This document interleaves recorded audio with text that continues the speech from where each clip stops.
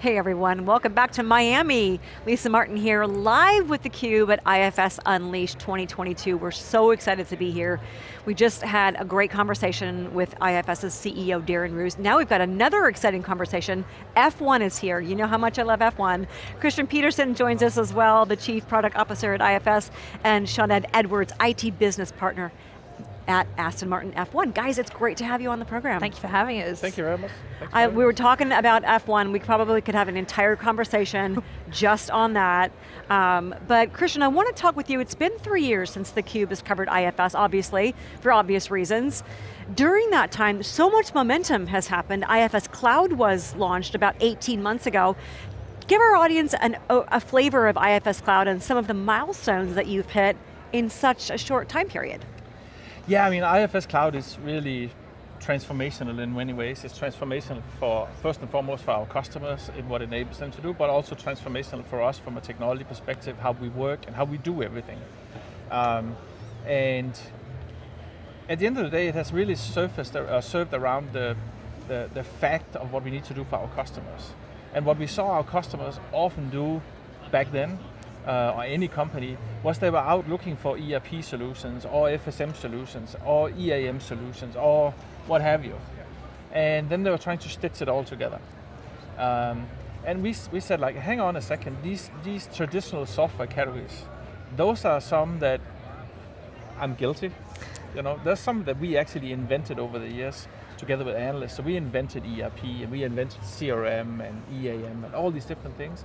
But at the end of the day, customers really want a solution to what they are, they are what they're dealing with.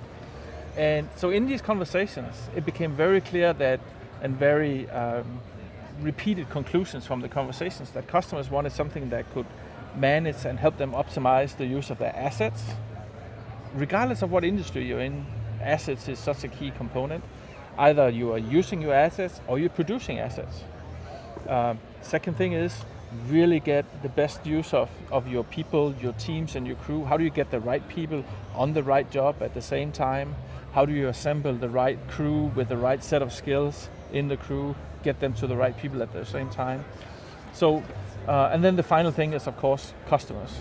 You know, all the things that you need to do to get customers to answer this ultimate questions. Will you buy from this company again? And they should say yes. That's the ultimate result of moments of service. So that's how we bring it all together, and that's what we have been fast at work at. That's what IFS Cloud is all about. And you, you talked about IFS Cloud being able to, to uh, help customers orchestrate assets, people, customers, Aston Martin being one of those customers. Sioned, you came from IFS, so you have kind of the backstory, but just give the audience a little bit of a flavor of your role at Aston Martin, and then let's dig into the smart factory. Sure, so I um, previously worked at IFS as a manufacturing consultant, so my bread and butter is um, production planning in the ERP sector. Um, so we, I, um, Aston Martin didn't have an ERP system pre-IFS or a legacy system that wasn't working for them and the team couldn't rely upon it. So what we did was bring IFS in. I was the consultant there and as IFS always preached, customer first. Well, customer first did come and I jumped in to support the team. Um, so we've implemented a full ERP solution to manage the production control and the material traceability all the way through from design until delivery to track, and we've mo most recently implemented a warehouse solution at trackside as well, so we're now tracking our parts going out of the garage. So that's a really exciting time for IFS. In terms of the smart factory, it's not built yet. We're, we're supposed to move um, next year, so that's really exciting because we're quadrupling our footprint, so going from it's quite a small factory spread out across um, the Northamptonshire countryside. We're going into one place, quadrupling our footprint. And what we're going to start looking at is using the technology we're implementing there, so enabling 5G to springboard our IFS implementations going forward with the likes of Internet of Things to connect our 15 brand new CNC machines, but also things like um, RFID. So that comes with its own challenges on a Formula One car, but it's all about speed of data capture, single point of truth, and IFS provides that. And well, Formula One, the first word that comes to mind is speed. Absolutely. Second word is crazy, maybe. we're, we're very unique in terms of most customers Christian deals with, they're about speed but also about profit and efficiency. That doesn't matter to us, it is all about time. Time is our currency and if we go quicker, in designing and manufacturing, which IFS supports, ultimately the car goes quicker, so speed is everything. And, and if, we, if we think of, of uh, people, uh, customers and assets at Aston Martin F1, I can't, I can't imagine the quantity of assets Absolutely. that you're building every race weekend and refactoring. Absolutely, so a uh, Formula One car that drives out of the garage is made up of 13,000 car parts, um, most of which, 50% of which we've made in-house. So we have to track that all the way through from the smallest metallic component all the way up to the most complex assembly. So orchestrating that and having a single point of truth for people to look at and track is what IFS has provided us. Christian, elaborate on that a little bit in terms of I mean, what you're facilitating, uh, F1 is such a great example of, of speed we talked about, but the fact that you're setting up the car every, every other weekend, maybe sometimes back-to-back -back weeks, so many massive changes going on. You mentioned 50% of those 13,000 parts you manufacture. Absolutely. Talk about IFS as being a catalyst for that.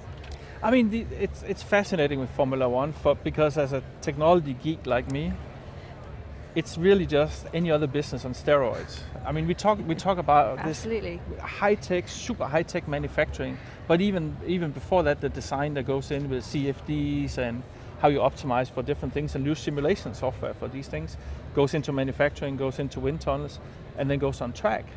But guess what? When it's on track, it's an asset. It's an asset that streams from how many sensors are on the car? I think it's over 10,000 sensors. Over 10,000 sensors that streams maybe at 50 hertz, so 50 readings. So every lab you just get this mountain of data, which is really IoT. So I always say like F1, F1 did IoT before anybody invented Absolutely. the term. Yep. yep. You know, F1 did machine learning and AI before anybody thought about it in terms of pattern recognition and things like that with the data. So that's why it's fascinating to work with an organization like that. It's the it's the sophistication around the technologies and then the pace at what they do. It's not that what they do is actually so different. It's it isn't. It absolutely isn't. We just have to do it really quickly. Really quickly, right? And the same thing when you talk about parts. I mean, I was fascinated of a conversation with, with one of your designers that says that, you know, sometimes we, we are designing a part and this, the car is now ready for production, but the previous version of that part has not even been deployed on the car yet. So that's how quickly innovation comes through, and it's it's it's fascinating, and that's why we like the challenge that Aston Martin gives us because if we can if we make can address work, that, yeah. there's a lot of businesses we can make happy with that as well. So Sinead, talk a little bit about, this is, so we're coming up, there's what, four races left in the 2022 season, but this is your busy time because that new car, the uh, 23 car, needs to be debuted in what, February, so just a few months time? Absolutely, so it's a bit counterintuitive, so our busiest time is now, we're ramping up into it. So we, we go into something called car build, which is from December to December to February, which is our end point, and there's no moving that point. The car has got to go around that track in February, so we have got to make those 13,000 components. We've got to design them, we've got to make them, and then we've got to get them to the car in February for our moment of service. I said it on stage, our moment of service as a manufacturing company is that car going around the track, and we have to do it 24 times next year, and we've got to start well, otherwise we're not going to keep up. I was going to ask you what a what a moment what's a moment of service in F1 and you're saying basically getting that Absolutely. functional car on the track quickly as quickly as possible and being able to have the technology underpinning, that's really abstracting the complexity. Absolutely, so I would say our customer ultimately is the driver and the fans. They, they need to have a fast car so they can support it and they ultimately drive it around the track and go get first place and be competitive. So that is our moment of service to our drivers, is to deliver that car 24 times next year. I imagine they might be a little demanding. They are, and Just I think a it's going to be exciting with Alonso coming in, because new agree. driver, uh, we've got to manage that change, and he'll have new things that he wants to try out on a car, so that adds another level of complexity to that. Well, how influential are the drivers in terms of some of the, the manufacturing? Like, did they, are they, give me kind of a, a sense of how uh, Alonso, Fernando Alonso, uh, your team, and IFS maybe collaborate maybe not directly, but so Alonso will come in and suggest that he wants cars to work a certain way, so he will feed back to the team in terms of oh, we need this car, we need this car part to do this, and this car part to do that. So then we're in a cycle when he first gets into the car in that February. We've then got to turn around car parts based off his suggestions. So we need to do that again really quickly, and that's where IFS feeds in. So we have to have the release and then the manufacture of the component completely integrated, and that's what we achieve with IFS. And it needs to be really seamless. Absolutely. If if we don't get it right, that car doesn't go out of track. So there's no moving deadline. Right, that's the probably one of the industries where deadlines do not move. Absolutely. We're so used to things happening in tech where things shift and change and reorgs, but this is one where the dates are set and they're firm. Absolutely, and we have to do anything we can do to get that car on the track. So yeah, it doesn't move. Christian, talk about the partnership a little bit from your standpoint in terms of how influential has Aston Martin F1 been in IFS Cloud in its first 18 months. I was looking at some stats that you've already gotten 400,000 plus users in just a short time period. How influential are your customers in the direction and even the, uh, the next launch, uh, 22R2? I mean, our customers are everything. Plain and simple. That's that's what it is. And we have, we have a partnership.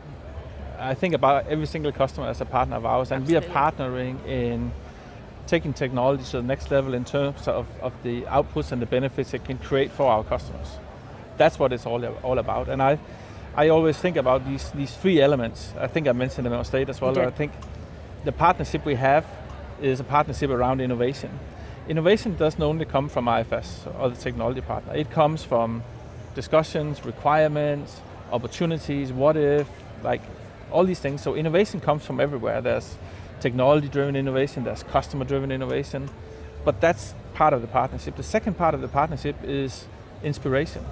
So with innovation, you inspire.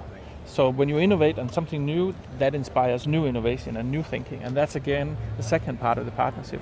And then the third part is really iterate and execute, right? Because it's great that we can now innovate and we can agree on what we need to do, but now we need to put it into products, put it into technology, and put it into actual use.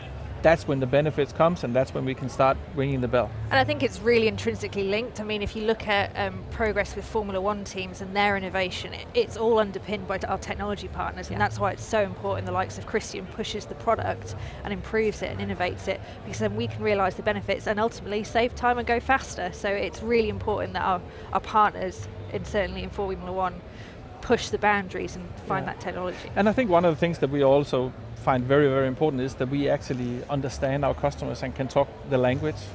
So I think that was one of the key things in our engagement with Aston Martin from the beginning is that we had a set of people that really understand Formula One, felt it on their bodies and can have the conversation. So when the Formula One teams they say something, then we actually understand what we're talking about. So for instance, when we talk about, you know, um, trackside inventory, well, it's not that different from what a field service technician have in his van when he goes service. The only difference here is when you see something happening on track, you'll see the parts manager go out to the pit lane with a tablet and say like, oh, we need this, we need that, we need this, and we need that, and then they'll go back and pick it and put it on the car, and the car is serviced and maintained, and off you go. Yeah. Yeah, that speed always impresses me. It's My goodness. unbelievable. Shannon, last question for you. From a smart factory perspective, you said you're moving in next year. What are some of the things that you're excited about that you think are really going to be transformative with what IFS is doing? So I think what I'm really excited about once we get in is using the technology they've already put in terms of 5G networks to sort of springboard that into a further IFS implementation, maybe IFS cloud, in terms of we always struggle to keep the system up to date with with what's physically happening so that the less data entry and the more automatic sort of data capture, the better it is for the Formula One team because we improve our, our single point of truth. So I'm really excited to look at the Internet of Things and sort of um, integrate our CNC machines to sort of feed that information back into IFS, but also the RFID technology I think is going to be a game changer when we go into the new factory. So really excited. Excellent. Well, well done this Thank year. We look forward to seeing Alonso join the team in 23. Fingers crossed. Okay, fingers crossed. Christian, Shanette, it's been a pleasure to have you on the program. Thank you so much for sharing your insights and how IFS, Aston Martin are working together, how you're really synergistically working together. We Yeah. appreciate your time. Thank you Brilliant. very Thank much. you very much for having us. Our Thanks for having us, and uh, go Aston. Woo! Go Aston. you heard it here first. Lisa Martin, no relation to Aston Martin, but I want to thank Christian Pedersen and Shannon Edwards for joining me talking about IFS and Aston Martin team and what they're doing at speed and scale. Stick around, my next guest joins me in a minute. Thank you.